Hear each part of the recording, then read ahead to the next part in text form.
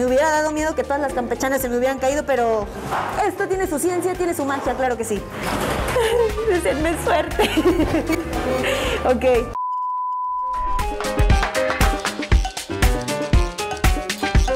En la calle Francisco Villa número 265 de la colonia Gustavo Díaz Ordaz podemos encontrar las campechanas La RR. Definitivamente es un postre que podemos degustar después de cualquier comida, así que vamos a ver cuáles son algunos datos y por supuesto cómo es que se prepara la campechana. Vamos a verlo, acompáñame.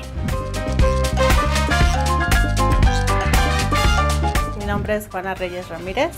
Estamos aquí con lo de las campechanas desde el 2005. Tenemos lo que son cochinitos, este, galleta, fruta de horno, tenemos lo que son las reboceras, eh, todo eso. Nosotros más o menos decimos campechanas porque pues una mujer pues, va por la calle muy campechana, arreglada y todo eso, en su caminar y todo eso. Digamos que por eso es el nombre de campechana.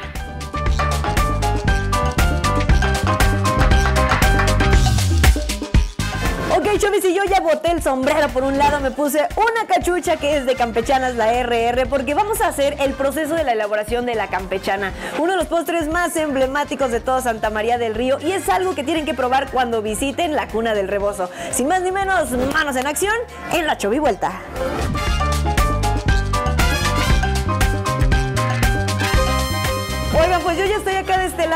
Ya me metí hasta donde se realiza todo el proceso de elaboración de la campechana.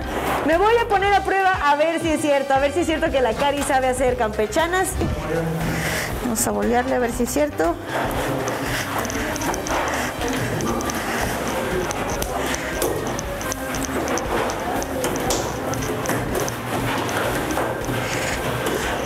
No me están quedando como las de Rigoberto.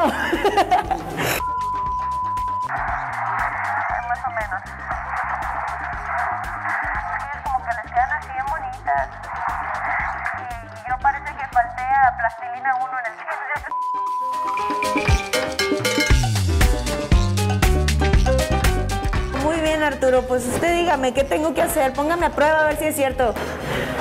Póngale manteca allá abajo. Ok, le ponemos un poquito de manteca. Más, eh, chile sí, ¿qué dijo? Sin miedo. Sin miedo al éxito, hombre.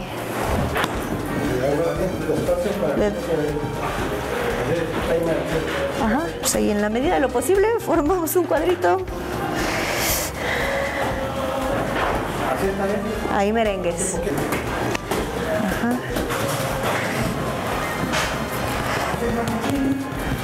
Este es el betún. Ándele pues. Mochamos. Ándele pues. Ahí viene lo difícil. Esto creo que es lo más complicado. Y agarramos un extremo. Ajá, y aquí empezamos a enrollar, ¿verdad? Ahí está. Ajá.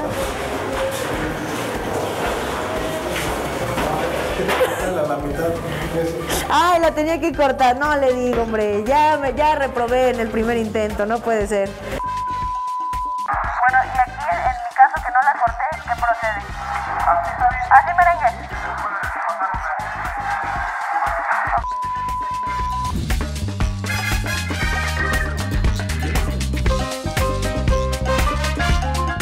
Pues de aquel lado donde estuvimos es donde se hace todo el proceso de la elaboración de la masa de la campechana. Le ponen los ingredientes secretos que no podemos revelar recetas, pero la verdad es que ya una vez que están hechas es una chulada. Pero uno de los pasos más difíciles es darle la forma a la campechana. Y Elena ya es toda una experta, en corto va a llenar esta charola. Vamos a ver cuánto tiempo tardo en hacer una y espero, decirme suerte, que todo salga bien. Entonces lo jalamos. Ok.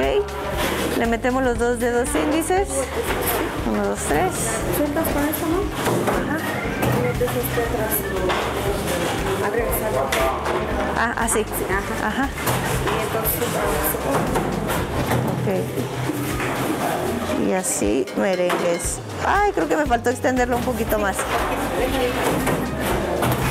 Oigan, pero yo ya voy a dejar a Elena porque ella es la experta y antes de que las campechanas queden deformes, mejor vamos a seguir por allá.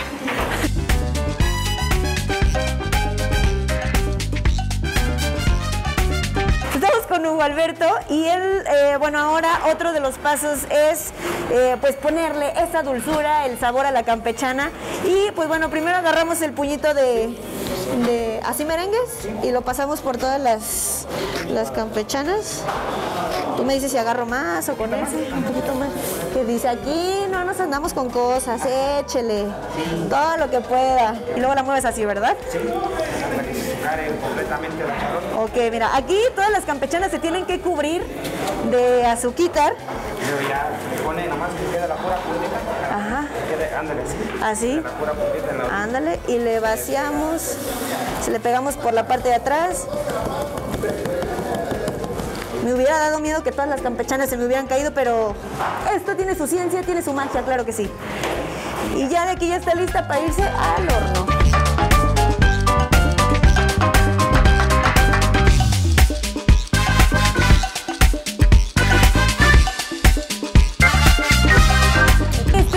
Los procesos, o al menos pienso que es uno de los más complicados, porque ya estaba observando cómo es que meten todas las charolas de los panes al horno.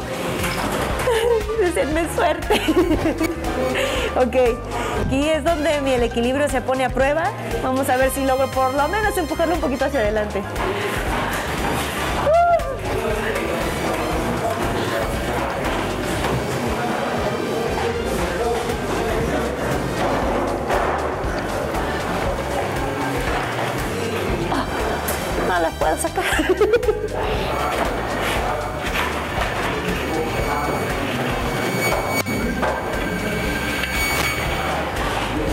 No se cayó.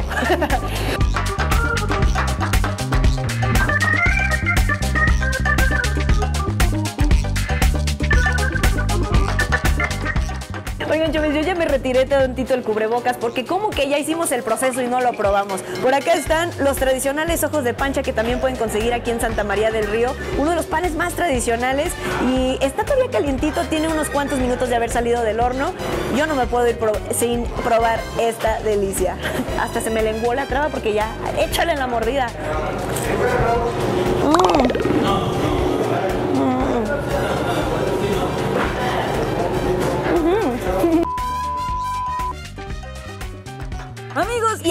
concluimos este maravilloso viaje por Santa María del Río, no sin antes decirles que esta es la combi oficial de las campechanas R&R. Así que la próxima vez que vengan, díganle a Juanis que les preste la combi para que ustedes también se puedan tomar su foto y la presuman en las redes sociales. Yo soy Cari Ávila y nos vemos en la próxima. Chavito. Bueno, déjame terminar el bocado. Bueno, hablar con la boca llena. Se tienen que embarrar, si no, no cuenta como chovi vuelta.